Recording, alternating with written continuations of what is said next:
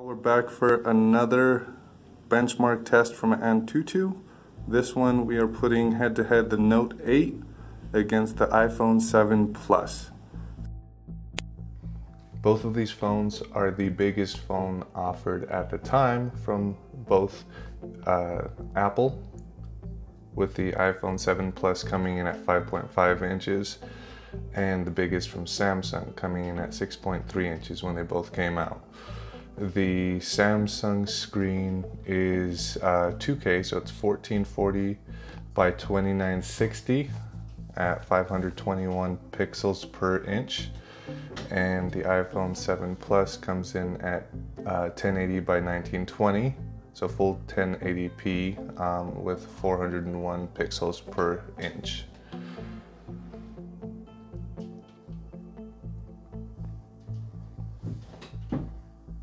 And you can see the graphics being tested here. If you're looking at both, both screens actually look pretty clear with Apple's Retina display being slightly darker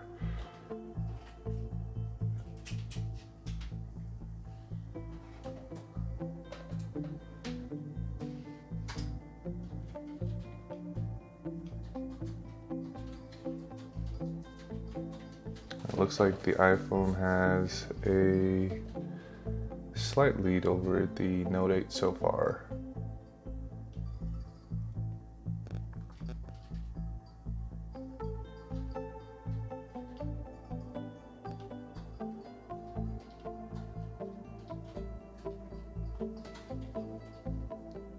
As far as the CPU in these phones, um, Apple the iPhone 7 Plus has a quad core 2.34 gigahertz, and the Note 8 has an octa core, so four cores at 2.35 gigahertz and four cores at 1.9 gigahertz.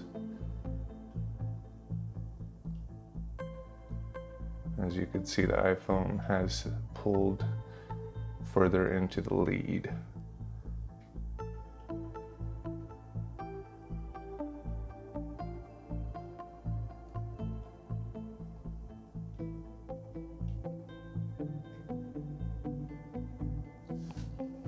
And these years are about a year apart. The iPhone 7 Plus came out in September of 2016, and the Note 8 was released in August of 2017. So it's incredible that the iPhone has such a lead over the Note 8 at this point.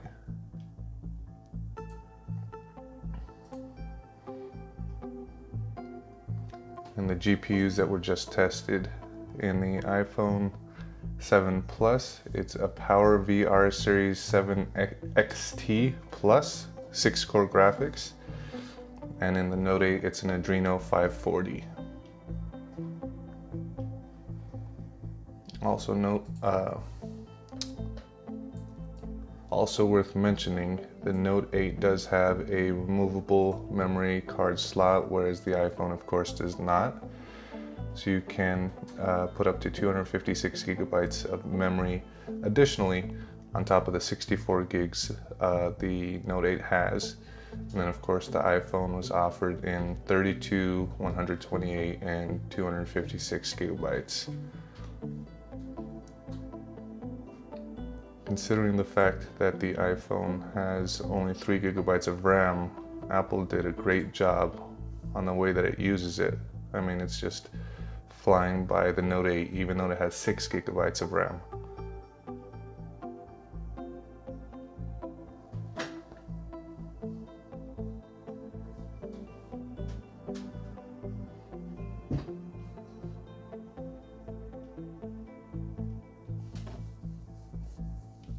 Something else worth note is that the iPhone has a 2900 milliamp battery whereas the Note 8 has a 3300 milliamp battery. Um, so when you're talking about talk time, you get up to 22 hours on 3G for the Note 8, up to 21 hours on 3G with the iPhone. 153,000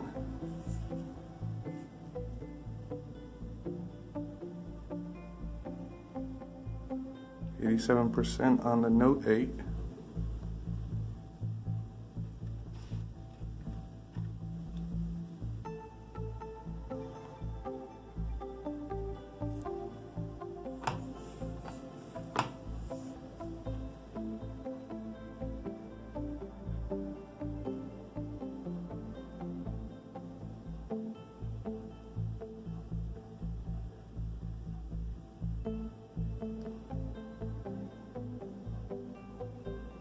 Note 8 finally finishes. So even though it took longer, scores don't lie. 153,000, 176,000. 3D, 53,000 to 74,000. UX, 52,000 to 55,000. That was pretty close. CPU, 35,000 to 37,000. Again, really close.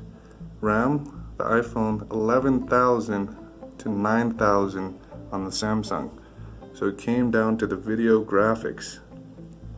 And uh, the Note 8 stays the champ.